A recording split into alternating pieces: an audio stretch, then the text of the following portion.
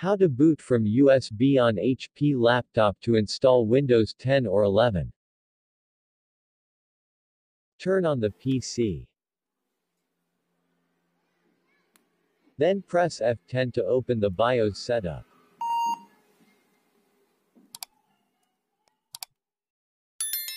Select Exit and choose Load Setup Settings to reset BIOS settings to their factory default settings, and then press Enter to select Yes.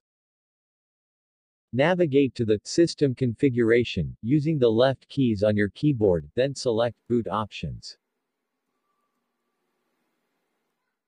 Set USB boot to enabled by pressing the Enter key or F5 key.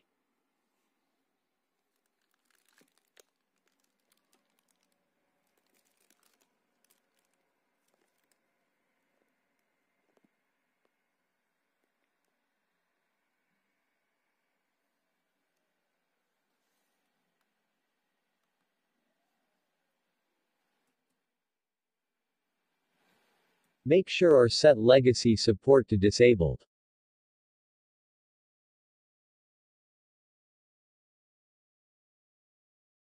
Make sure or set secure boot to enabled.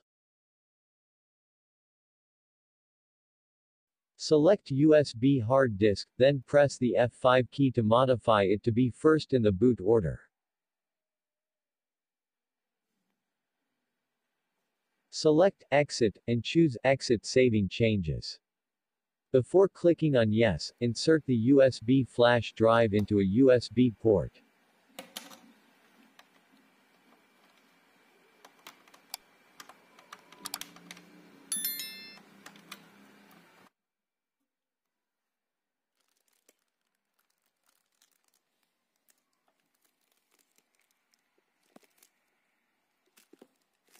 And then press Enter to select Yes. Immediately press the Escape key repeatedly, about once every second, until the startup menu opens. Press F9 to open the Boot Device Options menu.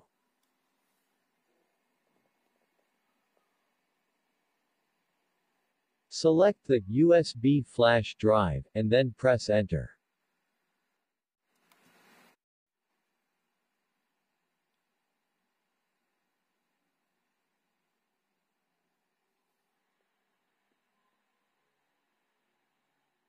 Wait until a welcome screen will be displayed to install Windows 10.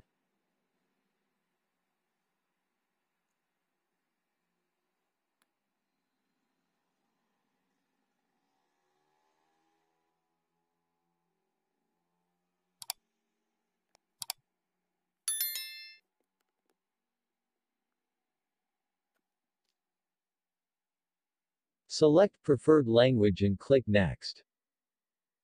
Click Install now. Accept the license terms. Choose the installation type. Specify where exactly you want to install Windows.